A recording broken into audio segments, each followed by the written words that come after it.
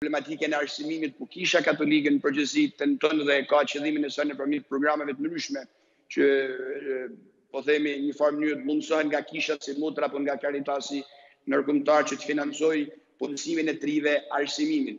Pjesa e jugut pastaj ku kuptohet numri i katolikëve nuk është shumë i lartë, por nuk do të thot që mhm.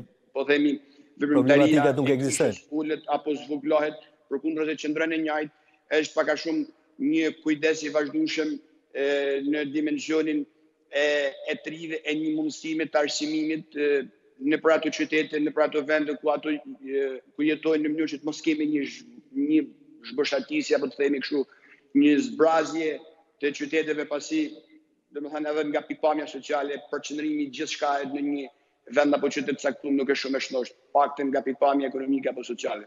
Qartë. Doja që të ndaleshim pak tek aktiviteti i shtuar i kohëve të fundit të Papa Franceskut. E kemi parë në shërbim të atyre që kanë më shumë nevojë. Së fundmi, xhiron e mediave botërore ka bërë video ku Papa Francesku duket duke larë këmbët e një të dënuari. Si duhet t'i lexojmë veprimet e tij? Cili është mesazhi në mënyrë le të themi paksa më të Thjeshtë, që duhet të kuptojmë nga këto veprime. Në fakt nëse shkojmë direkt në esencë në zanafillën gjesti i larjes së këmbëve nuk është një e risi po themi sjellë nga Papa Francesku.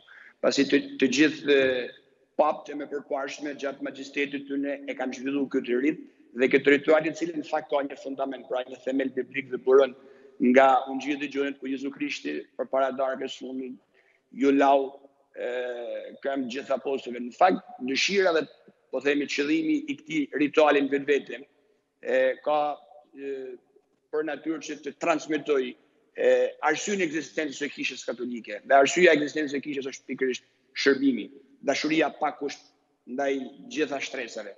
Në fakt hapi po themi risia që sjell Francesku ka qenë kjo zakonshmëria e tij që këtë rit ta zhvillojë jashtë bazilikës së Shën Pjetrit apo jashtë qytetit të Vatikanit. Në fakt, përjashto rastet e pandemisë, Papa Francesku vazhdimisht ka zgjedh një prej këtyre, po themi, institucioneve të riedukimit, në përgjithësi burgjet, për të transmetuar si për të e përcjell atë mesazhin që në raport me kishën katolike, në raport me krishterimin, ai që është në qendër të vëmendjes është individi, është personi. Jezusi ka ardh në këtë botë me dënu fenomenin, dënon mëkatin, por asnjëherë personin.